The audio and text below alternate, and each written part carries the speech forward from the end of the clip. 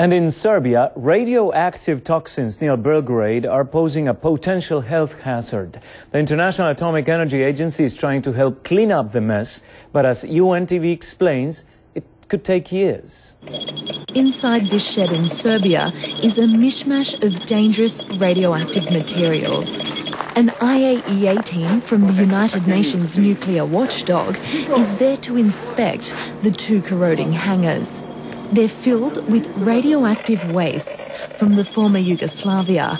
Radiation is contaminating the immediate environment. But the biggest challenge is nobody knows precisely what's in there.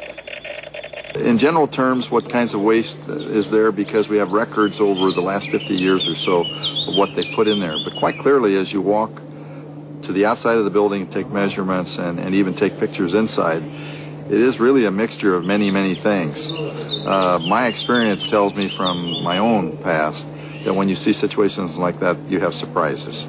There'll be things there that they really won't know that they have. The site is a half hour's drive from downtown Belgrade at the Vinča Institute for Nuclear Science. Security is a key concern. The shed is 40 years old. Its door recently blew off during a heavy windstorm.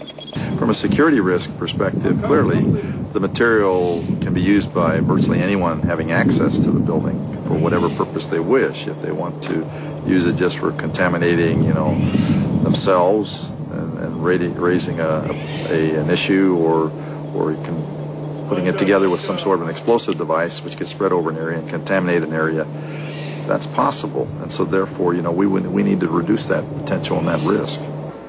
The IAEA is working with Serbian authorities to clean it up.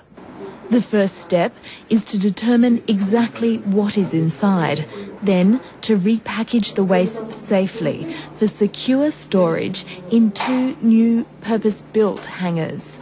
At the end of this process that will take some years, this hangar will probably disappear, so it will be completely repacked and stored in new hangar. For UNTV, this is Kirsty Hansen for CNN World.